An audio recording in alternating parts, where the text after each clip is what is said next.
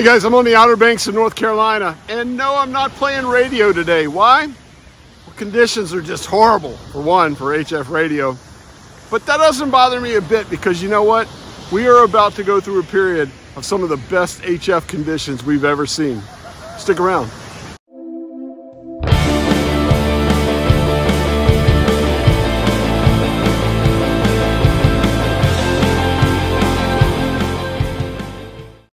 Guys, I was at a, uh, little local ham fest yesterday.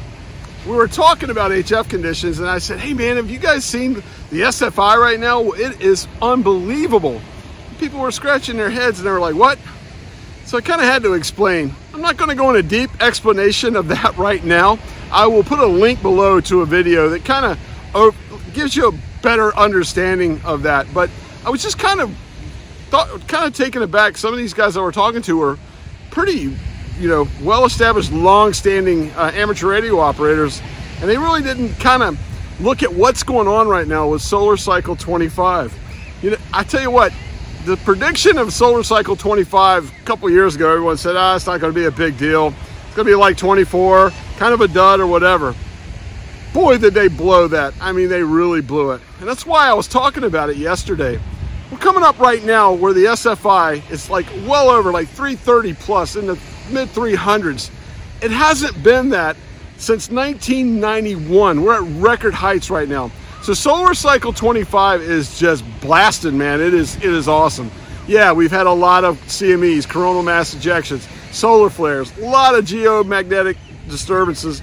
And here in the Northern Hemisphere, the summer's been a tough one for HF radio. But you wanna know what? The summer usually is a, a, tough one for HF radio, especially towards the peak of a solar cycle. Why is that? Well, it's because of absorption or blanketing. The D layer is just getting lit up and it is absorbing HF signals and kind of acting as a blanket to protect us.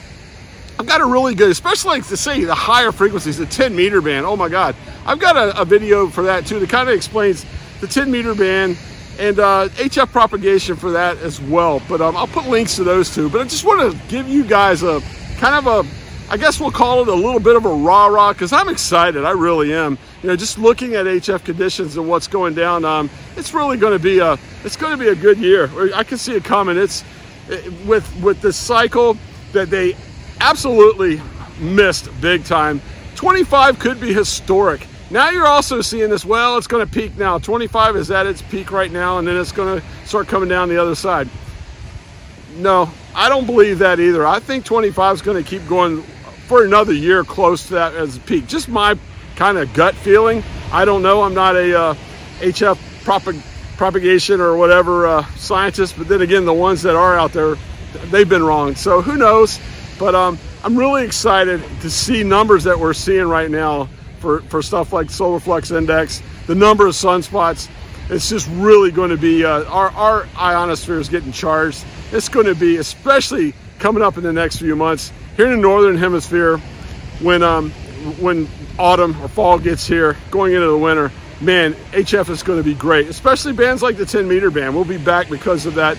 If you look at like if you look at the maximum usable frequency right now for 10 meters, the southern hemisphere is is awesome. I mean, they're they're just having a blast with it through their winter, and that you know, and then going into their uh, their spring. So we'll get back to it, and it's going to be wonderful here. But like I said, kind of a, a message to you guys.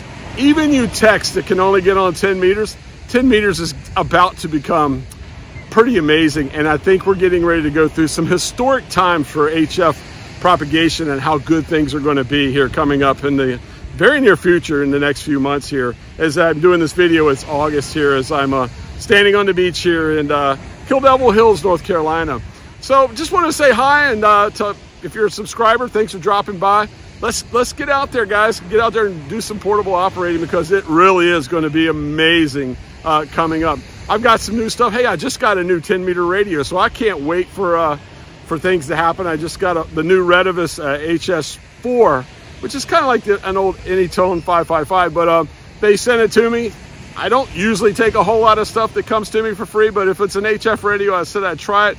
I'm really excited about this one. It's got a little bit more power than what I usually use. And as soon as uh, this 10 meter band really starts happening, I'm looking forward to that as well.